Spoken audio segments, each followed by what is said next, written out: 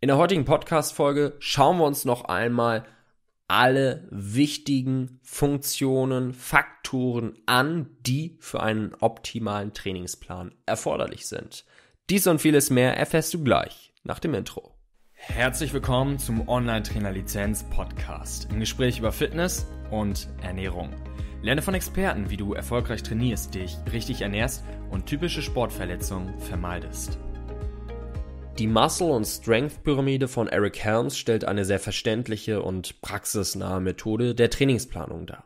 Das Besondere an der Pyramide ist, dass alle Anpassungsmöglichkeiten der Trainingsplanung nicht nur benannt und erklärt, sondern auch hinsichtlich ihrer Wichtigkeit kategorisiert werden. In der komplexen Welt der Trainingsplanung erhält man von allen möglichen Informationsquellen neue angebliche Fakten und Wahrheiten, welche man nicht zunächst immer deuten kann. Mithilfe der Pyramide und der, dem Verständnis der Wichtigkeit kann man neue Informationen jedoch sehr schnell kategorisieren und einer bestimmten Stufe zuordnen. In der Praxis ist genau das entscheidend, um das oberste Ziel der Pyramide, die Beständigkeit, dauerhaft einhalten zu können. Als Fitnesstrainer mit B-Lizenz muss man nicht zwingend einen optimalen Trainingsplan für Hochleistungssportler entwerfen können sondern primär einen funktionierenden, langfristig, sinnvoll und ausgewogenen Trainingsplan für die unterschiedlichen Ausgangsvoraussetzungen und Ziele der Kundinnen und Kunden. Genau das soll durch die Anwendung der Pyramide gewährleistet werden.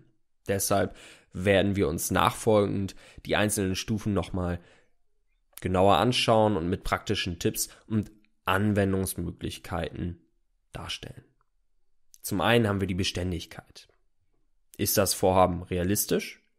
Oberste Prämisse ist es, einen realistischen Trainingsplan für den Klienten zu entwerfen.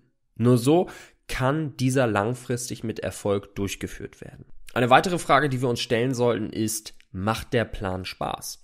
Auch wenn das Modul primär auf Optimierungsvorschläge zum perfekten Training eingeht, muss und sollte dies nicht der Anspruch sein. Ein optimaler Trainingsplan, der Spaß bereitet, wird erfolgreicher sein als ein optimaler, aber demotivierender Trainingsplan. Bietet der Trainingsplan Flexibilität? Solange man kein Profisportler ist, dreht sich nicht das ganze Leben um das Training. Vielmehr muss das Training als Bestandteil in den Alltag integriert werden.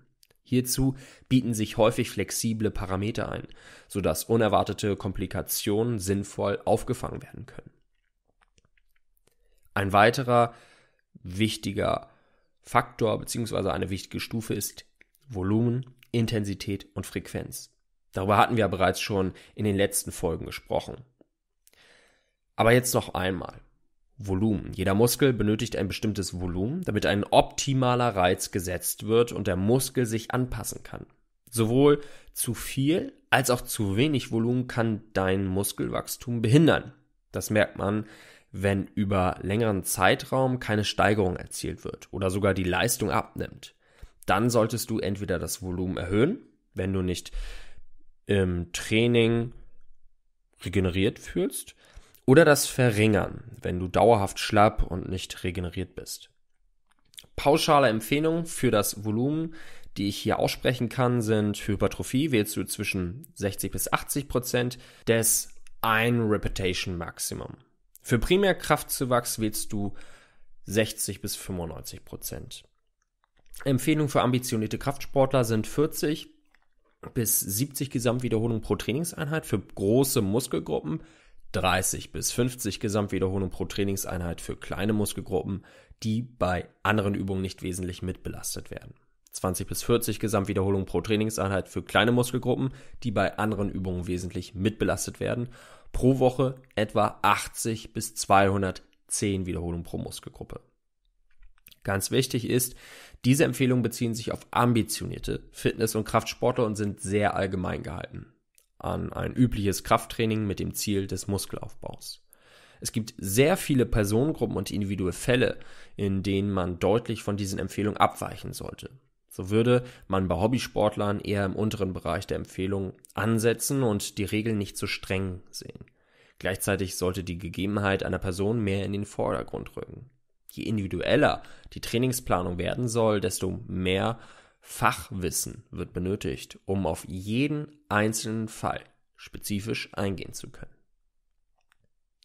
Widmen wir uns der Intensität. Es ist relativ egal, mit wie viel Wiederholungen du dein Volumen erreichst, solange du ein Gewicht wählst, das mindestens 60% deines Repetition Maximum beträgt. Mit 60% wären circa 12 Wiederholungen machbar. Es ist aber wichtig zu wissen, dass je höher die Intensität ist, desto länger benötigen wir für ein bestimmtes Volumen und desto höher ist die Belastung auf das zentrale Nervensystem. Die Intensität sollte zielgerichtet gewählt werden. Ziel Hypertrophie ist primär im Bereich von 8 bis 12 Wiederholungen zu trainieren. Ziel Kraftaufbau primär im Bereich 1 bis 6 Wiederholungen zu trainieren. Und wenn du das Ziel hast, Kraftausdauer, dort dich weiter zu verbessern, dann solltest du im Bereich von 8 bis 20 Wiederholungen trainieren.